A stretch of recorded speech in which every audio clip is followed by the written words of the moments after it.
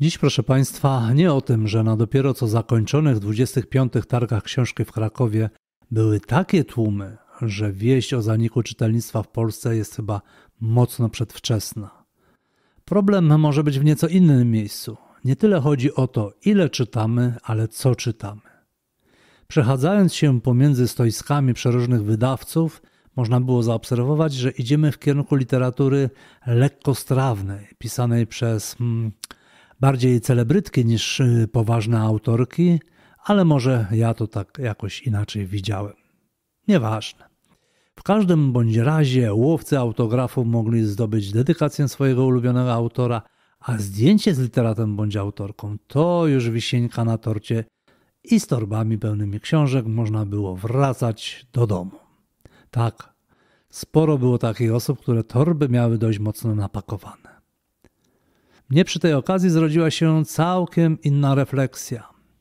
Pod jednym dachem, a właściwie to pod dwoma, bo targi odbywały się w dwóch ogromnych halach, znaleźli się autorzy, a co za tym idzie i wydawnictwa z zupełnie odległych kierunków światopoglądowych. I co? I nic.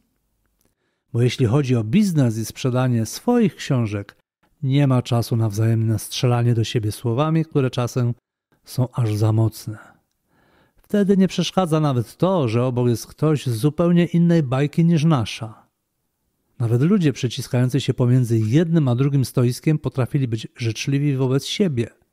To dlaczego po wyjściu z targów, kiedy już dotrzemy do domu, włączymy telewizor, ładujemy się negatywnymi emocjami i zaczynamy kolejną rundę wojny polsko-polskiej? Może lepiej wziąć do ręki świeżo kupioną książkę, nawet tą z dedykacją, i zagłębić się w innym wymiarze.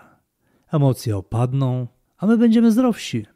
Szkoda tylko, że to niewykonalne, bo już czyhają na nas tacy, którzy sprawią, że nasze wejście w rzeczywistość jest niczym spotkanie pewnego fortepianu z brukiem. Ale i tak warto od czasu do czasu najzwyczajniej w świecie wyciągnąć książkę z półki i odlecieć, czego sobie i Wam życzę. A teraz jeszcze kilka migawek z międzynarodowych targów książki w Krakowie z nadzieją, że za rok może się tam spotkamy.